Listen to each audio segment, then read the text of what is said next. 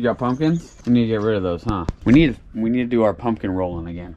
We're rolling down the hill. That was so fun. We need to get the little ones up here and we'll do it again. Oh, well, it's here. Big, big weekend. We got soccer. We got St. Jude event. We, more soccer. Just a lot going on. It's crisp right now, but it's going to be beautiful today. It's going to be like 70 a day. Perfect. Tomorrow's going to be very interesting. They're expecting rain now for the race. Yeah, just, it's just going to be, it's going to be a good time though, no matter what. Huh, Marks? What are you to do? You to hold down the fort while we're gone? You are, huh? All right we have got to head west now. We got to go Murfreesboro first, then we got to go to Memphis, then we got to go. We got a lot to do. It's Good to go. You ready? Good to go. You excited? I'm excited. It's finally here. Yeah, I don't know if I trained well enough, but that's all right. We will find out. It's a fancy little basket right there. Mm-hmm. Okay, it's a Fred's roast basket. Looks a lot like some other place's basket. Nope. Mace, what are you doing? You gonna hold down the fort while we're gone? You gonna hold down the fort? You wanna go run? You can go run with us. You wanna go run? I don't think you'd do very good running. Alright, we all ready? It's a big, big weekend. We got a little bit of a drive, so we will pick back up in uh, Murfreesboro. See ya. Alright, drop Taylor off. Soccer field. She's good to go. We got her checked into the room we were gonna just try to let it be the digital key do its thing. Just something like. Well, and she's all by herself. She's gonna be by herself for 24 hours, basically. I want her to have her room set up and done so she could just go and not have to depend on another parent, really. Grandpap couldn't attend. Yeah, so Grandpap was coming, but Grandpap is definitely not feeling well. Took all of us to petition him to go to the doctor, which he finally did. And he would never miss soccer. No, he especially loves he loves these ones, especially the big ones, the ECNL showcases, which we'll show y'all, and then when we get back out here tomorrow and Sunday, it's a huge event and uh, it's a fun event too. So that's good. We got her dropped off, two and a half hour drive out here, dropped her off, got the hotel checked in. Plus, you get breakfast and stuff with the hotel. So I wanted to make sure we got those vouchers so she's taken care of because I just I don't know. We don't like to rely on other people to attend to our kids. No. And I mean, we have plenty of people that we could definitely lean on and they'd be more than happy to help, but I just feel like I don't know, I like having that responsibility, just that box checked. So there's no issues. We checked our boxes. So we're yeah, good. we're good. So now, three and a half hour drive, and we head out to Memphis. We continue west on the adventure. 73. It is beautiful outside these past few days have been a blessing in Tennessee. They've just been fantastic. Yeah, so three and a half hours. We'll get to Memphis. We'll save y'all uh, save y'all some time and just pick you up there. You underestimate how big Tennessee is lengthwise. What did we say? 430 something miles across from Memphis all the way over to Johnson City or whatever. 430. California is 700 something straight up and down. So imagine if you took Tennessee. California's still bigger. Yeah, we're in Memphis. I'm excited. We're gonna go to the expo. All these folks are leaving the expo. It's over here in the convention center.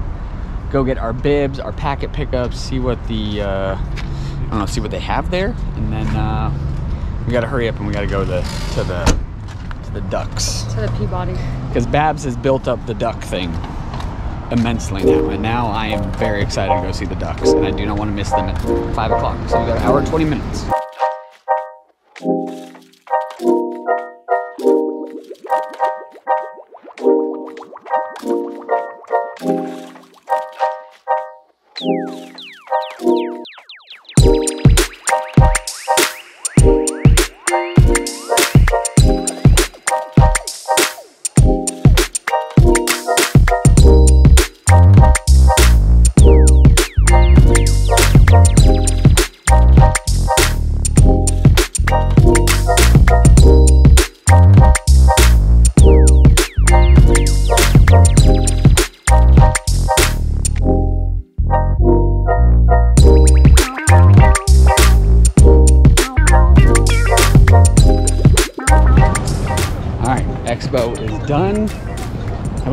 Got some cool stuff, huh? Yeah, it's so cool, like seeing all the stuff in there and just all the kids and just man, they treat you they they treat you so good in there. They it's like I don't know, we just raised some money on YouTube and, you know, wanted to go to a good cause and they treat you so special. It's the coolest thing.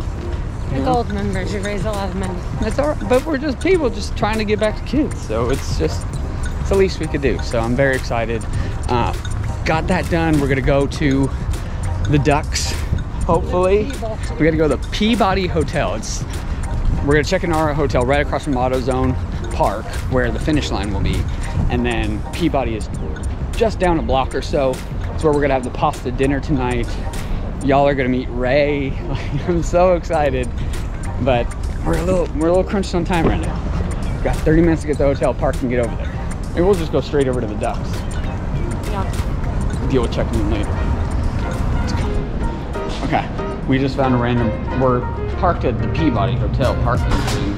Can't get into ours. I don't get why we can't get into ours because it's all blocked off. So we're gonna have to go there. So whatever, we gotta pay a little bit extra to park here. That's fine.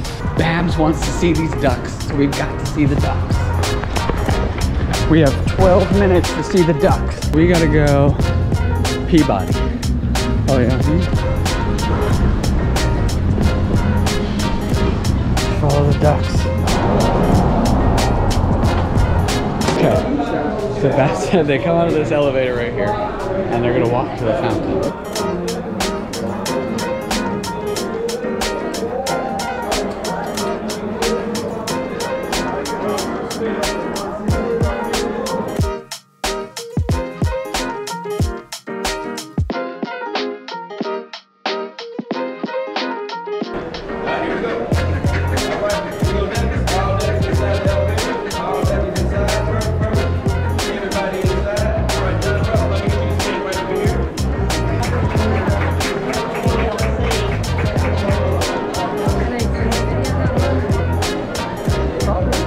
Will, yes. Somebody asked you, what do you do for work? How do you explain this? Other than being a Secret Service for the Ducks, I'm a security supervisor. I like it. Okay, so you couldn't see this from where we were at, but they're in this little fountain and they swim around this fountain out here. So they swim around, they come in, swim around, and then go back out, right? Okay, so Babs, I, I doubted your ducks at first, Hey, they've been around a long time. but it's kind of funny. What is it, 90 years? 90 years. 90 years the Ducks have been doing that. And it started with some, it was a general manager here that went hunting and thought they could bring their live decoy duck. So back in the day, you could actually have like a live decoy duck. So they thought they could bring it and they ended up putting it in, in that fountain and they hired a circus animal trainer to train the ducks. and it became a thing. All right, so we only have valet at our hotel. We parked at the Peabody parking, which is right across the street. Looking at our parking lot, and there's only one entrance exit out of it, and it's right where the race ends. I'm kind of thinking it's going to be a little congested and busy tomorrow. So the 24-hour rate at the Peabody Hotel is only 26 bucks. Our valet is 28, so we're just gonna stay here. I don't know, I'm kind of weird like that. I like to have an easy entrance exit. You good? Saw your ducks? Good. It's kind of weird because we have technically two rooms for two the exact same nights in two completely different cities. So there's lots of room keys on here. Okay. You get to pick your rooms out and stuff. I picked this one because this will be kind of cool once everything's done. Because we finish right there, and this will be all the runners. And we're gonna get ready for dinner. Take y'all to dinner with us, and then uh, meet Ray, and we'll continue.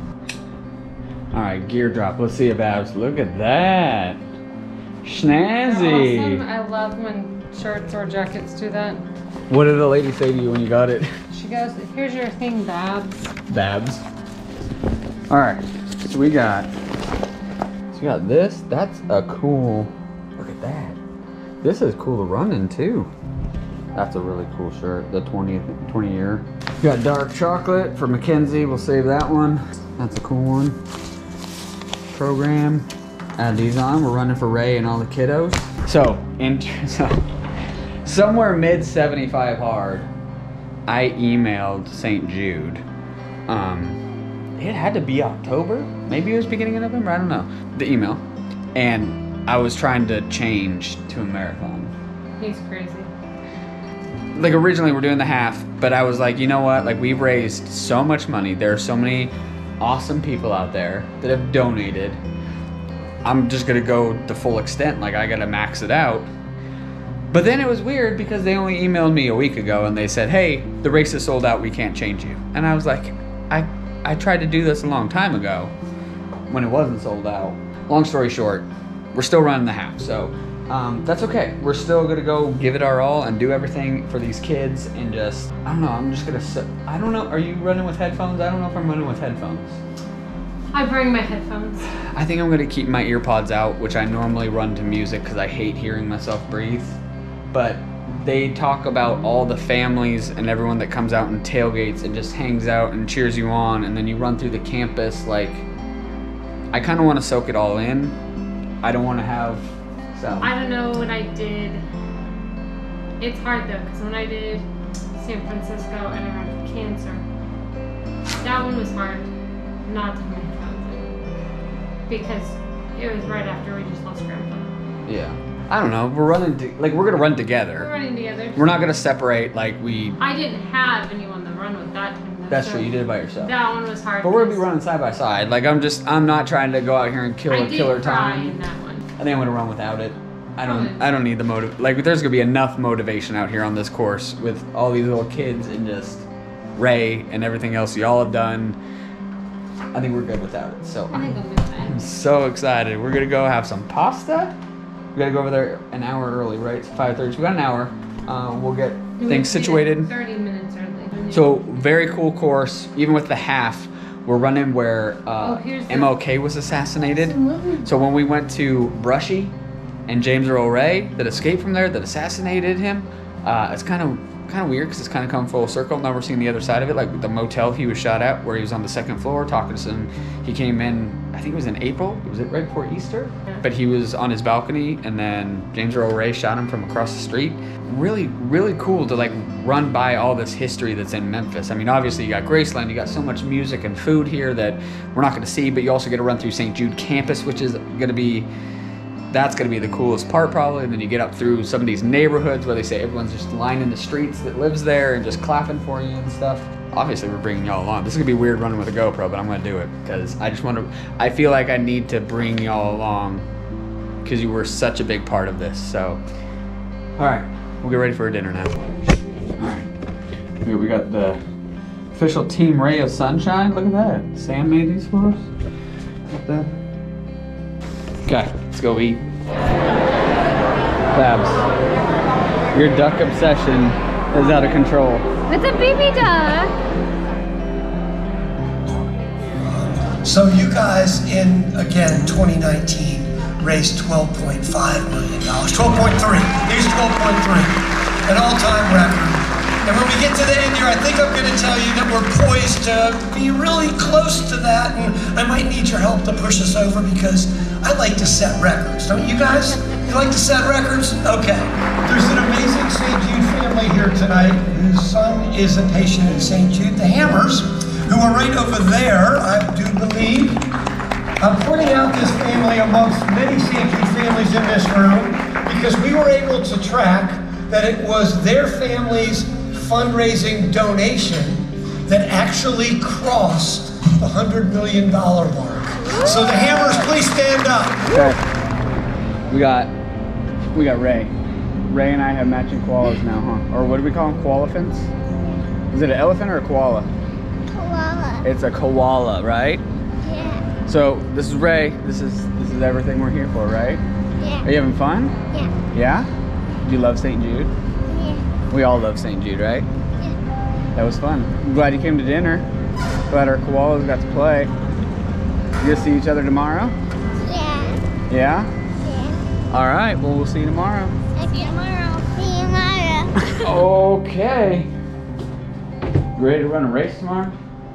As ready as I'll ever be. How was that dinner? That was awesome. The dinner is so good. Those dinners are so cool because you have people that speak, you know, on behalf of St. Jude, but then they had a mother speak who had lost a child, you know, and she spoke and it just it hits you hard. You know, because they talk about the survival rate going from 20 when they first started up to 80 but that's still four out of five children making it, but there's still one that's not. And that mom was a mother of one that didn't.